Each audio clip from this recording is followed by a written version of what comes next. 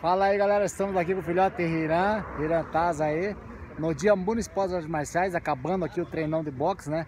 Estamos nos preparando, né Hiran, para o beatboxing, né? O boxe aí do Rio de Janeiro, boxe de praia, onde estaremos representando Ponta Grossa aí, estado do Paraná. Hiran Taz estreou no profissional, MMA profissional, tá invicto, né? Uma luta, uma vitória, vai lutar o boxe aí para evolução no seu jogo do MMA. Com certeza aí vai ser uma grande luta lá no Rio de Janeiro, né, Irã? Fala aí do Isso dia. Aí. Hoje, dia 12 de setembro, dia das artes marciais, fizemos um treinão de manhã, já cedo, às 10 da manhã, e finalizando agora o treino de noite, se preparando bem para dia 29 de setembro estar representando nossa cidade e nosso estado no beatbox. Isso aí, galera, dia municipal das artes marciais, tá aí o campeão. Ei, Caveira! Caveira!